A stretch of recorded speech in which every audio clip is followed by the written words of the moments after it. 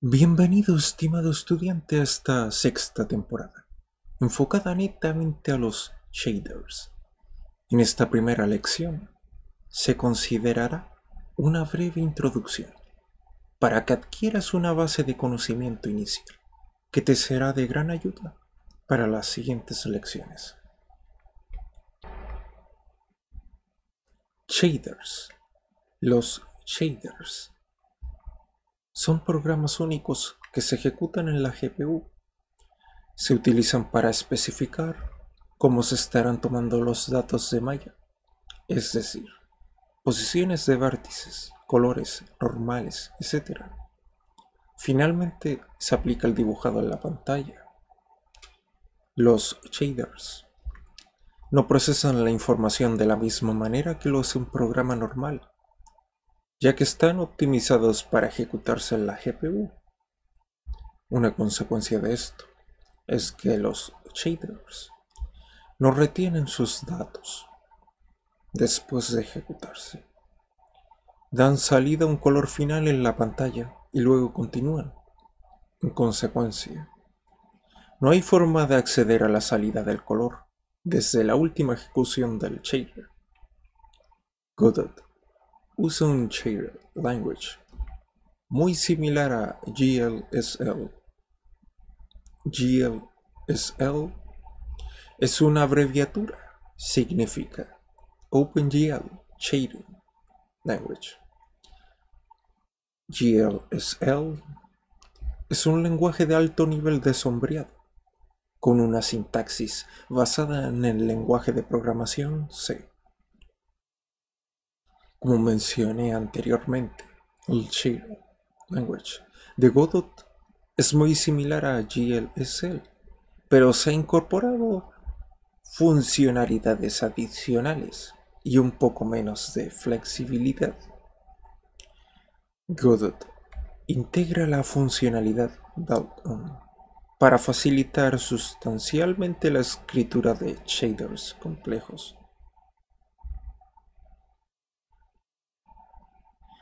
Godot envuelve el código shader, escrito por el programador en un código propio.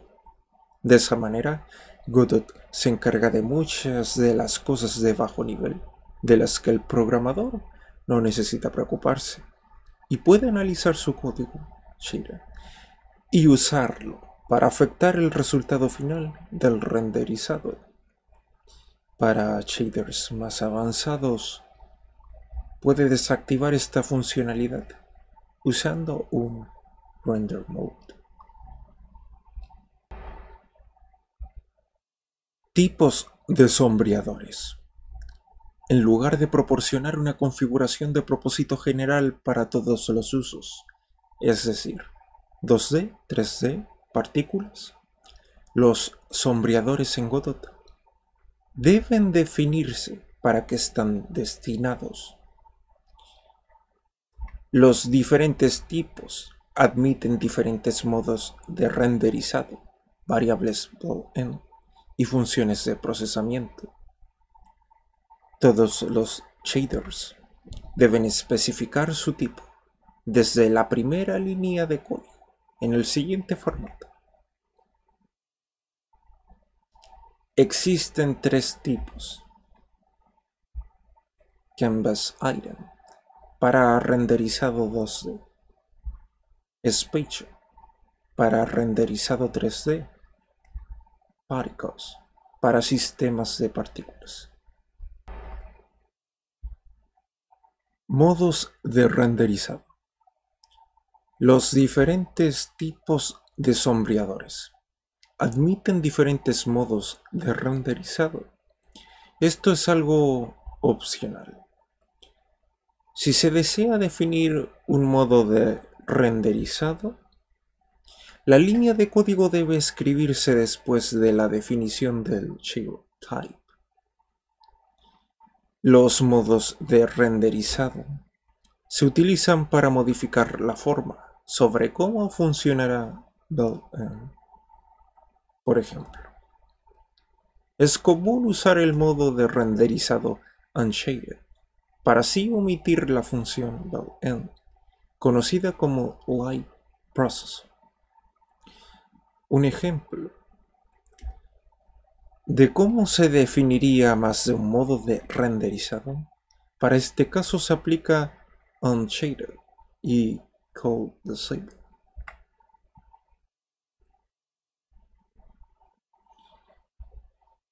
Cada tipo de sombreador tiene una lista diferente con respecto a los modos de renderización disponibles.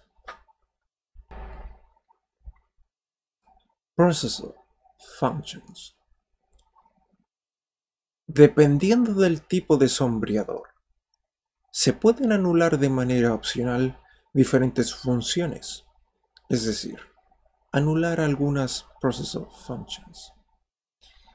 Para el caso de Canvas Hidden y Spatial, es posible anular Vertex, Fragment y Light. Para el caso de Paricos, es posible anular Vertex solamente.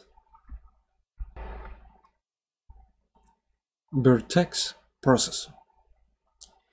Esta función se llama una vez por cada vértice para los siguientes tipos de sombreadores. Canvas Item y Speech.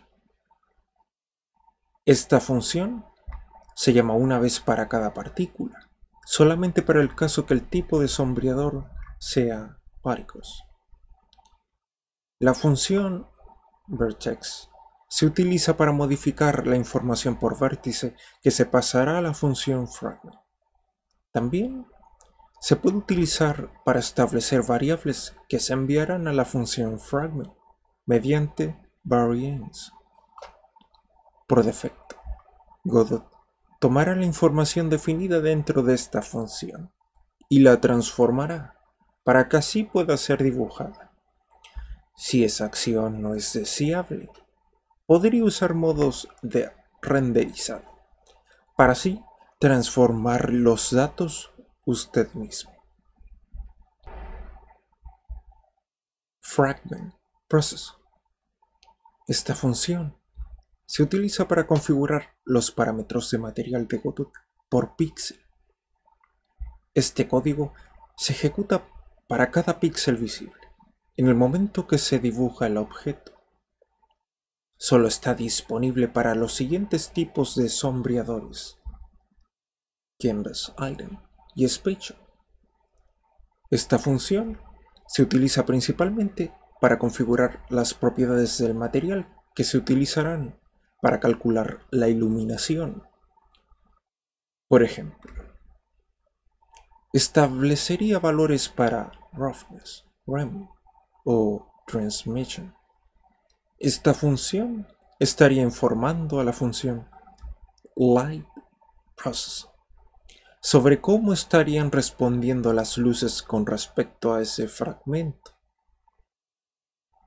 Esto hace posible controlar un pipeline de sombreado complejo sin que el programador tenga que escribir mucho código. Si no necesita esta funcionalidad, se puede ignorar. Para así escribir su propia función de procesamiento de luz y Godot la optimizará. Por ejemplo, si nos escribe un valor referente al parámetro RAM, Godot no calculará RAM line durante la compilación. Godot comprueba si se utiliza RAM. En caso que no se use, Godot corta todo el código correspondiente por lo tanto, no desperdiciará cálculos en efectos que no utiliza. Light Process. Esta función funciona por píxel, pero también funciona con cada luz que afecta al objeto, en caso que existan luces. Esta función suele llamarse dentro de la función fragment y se utiliza a la hora de configurar propiedades del material. Esta función funciona de manera diferente dependiendo del tipo de sombreador. Canvas Item o Spatial. En futuras lecciones se explicará eso. La lección ha llegado a su fin. Gracias una vez más por estar presente. No pierdas la motivación de querer seguir aprendiendo. Nos vemos. Que estés bien.